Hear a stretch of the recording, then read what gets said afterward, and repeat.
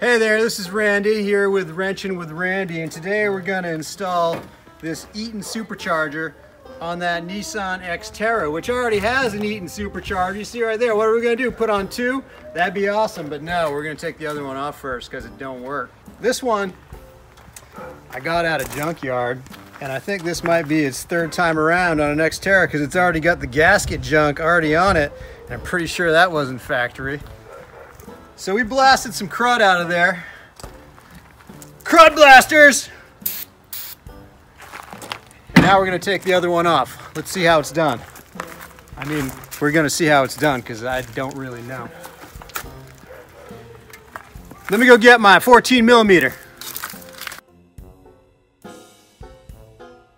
All right, first thing we're doing is taking off these bolts that hold the supercharger on the manifold.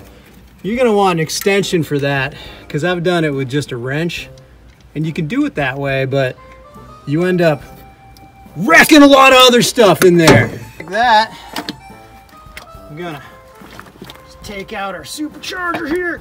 Come on, you. So anyhow, we're just gonna, we're gonna pull those off, get those out of the way. Then we're gonna give that a healthy shove that way.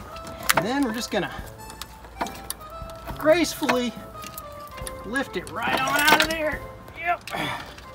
See you later, you hunk of junk. All right, now we're swapping some parts over here on the workbench where it's easier to get at. Like I can do this a lot easier right here than I can when it's sitting on the engine. Now, here's an important point to make. When you're putting stuff like this back in, you gotta flick that and make your wrench, make your socket go the other way, because now we're tightening. It makes sense. We're gonna make our own gaskets. That's how I do it this is the right stuff. It says, hopefully that's true. Now it looks like somebody already attacked this one with some RTV. So we're just gonna redo it.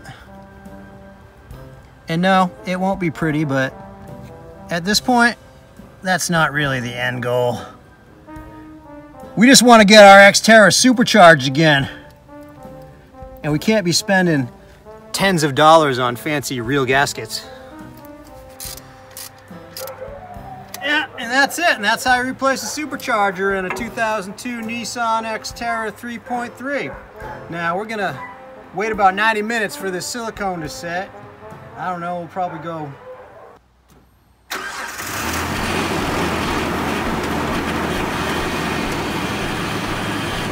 not making any weird noises that I can hear from here. Oh, Oh, I'm sorry, you just caught me working out with this crap supercharger. Once you execute a job like this, time to celebrate. Cheers. If you want to know how to do this, just watch the video. All right, that's it. I think we're ready to race. So a couple things we kind of glossed over.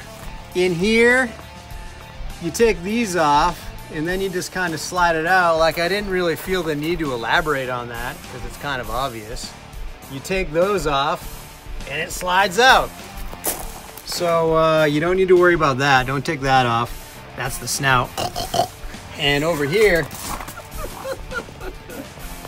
you got, I don't know, some kind of a valve. I guess it's a dump valve or something. This thing only makes but 3 PSI of boost, so I don't know, really know why it needs a dump valve, but you just pull all that off and it comes off. It's really like you don't even need an owner's manual to do this. You just look at it and say, all right, you take off those eight bolts or whatever, and you take off this stuff, and it just, it comes right out. It was easy. I mean, believe it or not, I don't really know what I'm doing.